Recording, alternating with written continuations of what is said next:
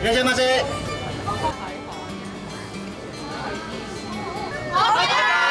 举杯狂欢，大快朵颐，几杯黄汤下肚，舒缓一整天的疲惫。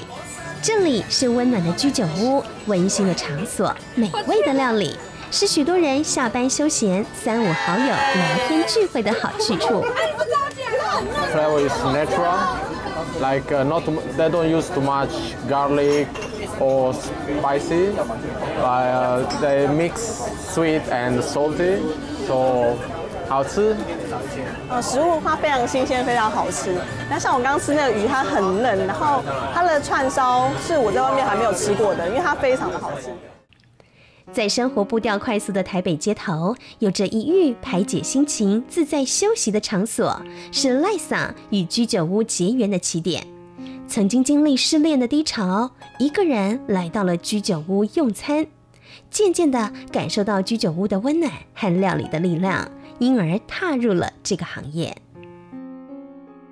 来这边吃饭就是要健康，然后舒服。我都会觉得说，我一定吃了很多次，甚至上百次，自己觉得哎很棒，很好吃，然后才会去跟人家讲说，我们来就是会迫不及待想要分享说，哎，我今今天你要教我起来，我给你熊出来。曾是科技新贵，走遍世界的赖桑，秉持着用料理温暖人心的精神，努力走访各处取经，练就一身拿手私房好菜，充满新意与心意。做串烧店，对鸡肉一定要有自己的一个信心。我自己也比较自豪，就是还是那个酱，我蛮自豪我们自己的明太子的酱，或者是青葱酱，或者是所谓的这些呃烤肉啦、照烧酱、照烧酱的部分。各式口味的鸡肉串，内藏惊喜的剥皮辣鸡翅，咬下去酥酥脆脆的咔滋一夜干，样样皆是饕客的必点清单。再配上清酒小酌，让顾客直呼“欧一系”哦。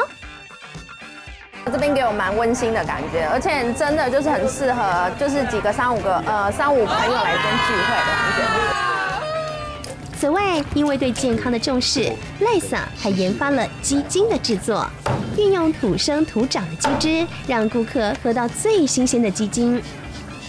简单，然后就是好，就是你整只鸡，然后我们也不用加任何调味料，就拿来这边自己练，就是练八个小时。有人爱开玩笑说赖场的鸡叫有机鸡，那我自己的鸡又养了一定要超过六个月以上，然后自己的鸡一定要在地上跑，可能接触到地气啊或怎么样，我会觉得那个鸡就是比较 OK 一点。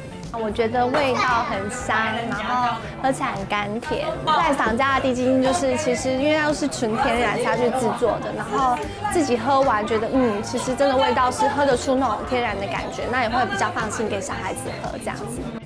对赖桑来说，分享是制作料理中最开心的事情。再多的辛苦和奔波，一切都值得。因此，也会定期让员工自己点餐享用，扮演客人的角色。因为我本身是负责点菜的，那呃赖赏希望我们能够。呃，在烘焙的时候，然后让我们员工先自己吃，能够去知道说这个口感是什么。所以赖赏希望说我们在呃做任何的食材的时候，自己能够去感受到每一样食物的温度跟每一样食材的口感。我常跟我们团队讲，说这是一个有爱的小窝窝，因为我觉得可以经营餐厅是自己的福气，可以跟很多人分享美食啊。可以跟很多人聊自己的生命的故事啊。那你说我喜欢居酒屋什么？其实我自己想一想，其实我喜欢居酒屋，maybe 就是这一种，嗯，有一种感情的交流吧，有一种温度。因为这边有很多的客人都是从陌生，然后不小心走进来到变成好朋友。那我会觉得说有一个地方大家聚在吃饭呢，就很好。全心全意投入，精益求精的求新求变，享受美食，享受分享温暖的喜悦。这是居酒屋达人赖桑。